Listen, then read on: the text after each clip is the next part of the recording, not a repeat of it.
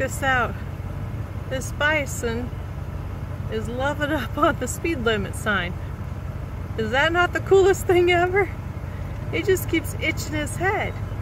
And it's crazy because I think that buffalo are in Africa and bison are in the United States. But this guy, who's now acting a little bit bizarre, does not look like the normal bisons I usually see. He doesn't have the big whole big furry thing on the front of him, which could be that he's uh, shedding his fur because, let me see if I can put show this on the camera. Look what I got myself. This is some bison fluff.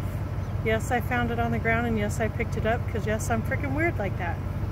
But this bison right here does not have that big fluffy mane. He just has some hair on his head and he still keeps just going after that speed limit sign. And this is not even, hmm, I don't know, I think if I was on a football field, I'd be standing on the 20 yard line.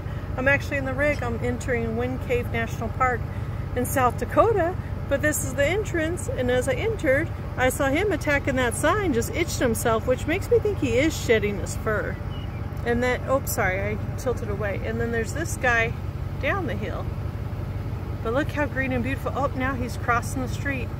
Maybe he's going to visit his friend. Woohoo! Now I can go by. I didn't want to go by before because I didn't want to disturb him itching himself on the sign. But isn't that awesome? Super cool and beautiful.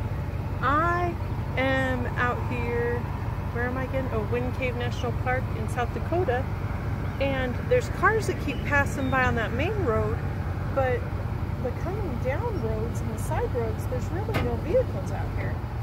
So I don't know, like I had never heard of this national park until I looked at a map my daughter gave me, but um, I don't know if there's people out here or not. But look at him. He is pretty dang cool. That must be it.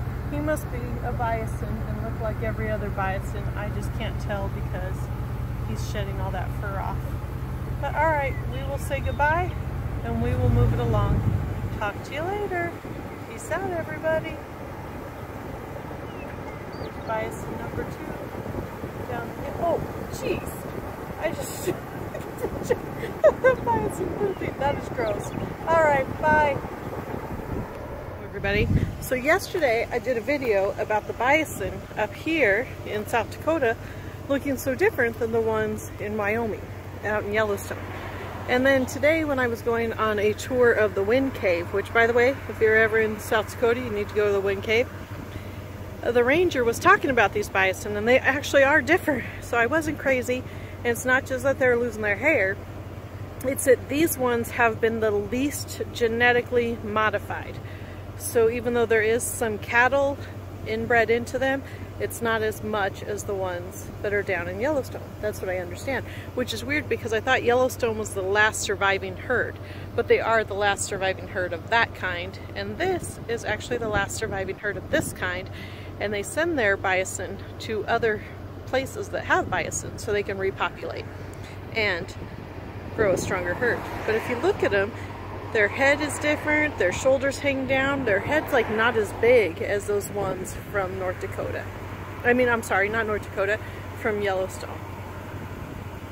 Which is weird though, because I think their horns, or antlers, whatever you call those things, are bigger on these guys, but they might only appear bigger because there's less hair on their heads.